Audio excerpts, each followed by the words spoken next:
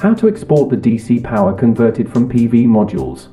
The process flow is roughly divided into two steps, junction box installation and appearance inspection. Welcome to my channel. Today we will bring you the sixth step of the manufacturing process, junction box installation. If you haven't watched the previous video, please click the link on the top right. After the frame is installed, the assembly is transported by conveyor to the junction box installation area. An automatic gluer pours sealant into the back of the junction box. The operator then presses to bond the junction box to the back panel bus bar. The bus bar is soldered to the internal leads of the junction box by manual soldering. The inspection monitor on the side allows us to see if the assembly passes the test.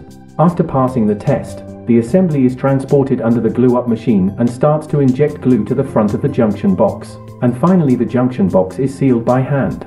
What does the junction box do?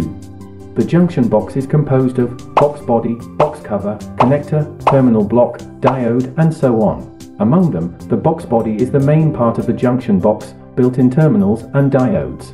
The role of the external connector is to channel the current generated by the component to the inverter and controller through the connector. PV junction box has two main functions. The basic function is to connect PV modules and loads, and the additional function is to protect module lead wires from hotspot effect. The junction box acts as a connector to draw the current generated by the solar module and direct it to the power using equipment. In order to minimize the power loss of the junction box to the modules, the conductive material used in the junction box requires low resistance, while ensuring that the contact resistance with the lead wire of the bus bar is even lower.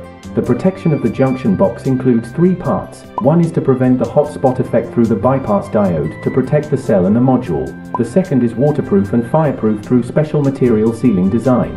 The third is to reduce the working temperature of the junction box through special heat dissipation design to reduce the temperature of the bypass diode and thus reduce its leakage current to the module power loss. The junction box has two types of gluing, which are potting and non-potting type. Both can be used to enhance the durability of the junction box. As a key material, the sealing silicone rubber can fully fill the gap between the components, such as between the frame and the laminate, or between the junction box and the backplane.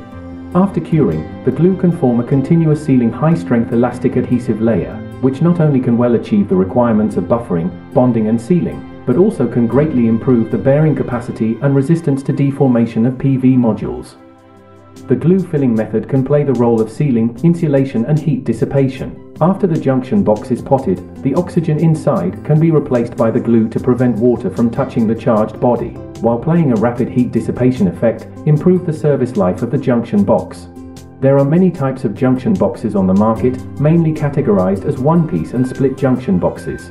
One-piece junction boxes contain one or more diodes and positive and negative cables, and generally only one junction box is used for one component. Split junction boxes contain multiple junction boxes, each with a diode inside and positive and negative cables distributed over two junction boxes. Therefore, a module should have at least two junction boxes, and the current mainstream half-piece module uses a special three-part junction box. That's all for today's video, I hope you guys will enjoy it. If this video is helpful to you, please don't forget to subscribe our channel. We will also continue to update this series to take you to know more about the stories behind the PV industry. See you in the next video.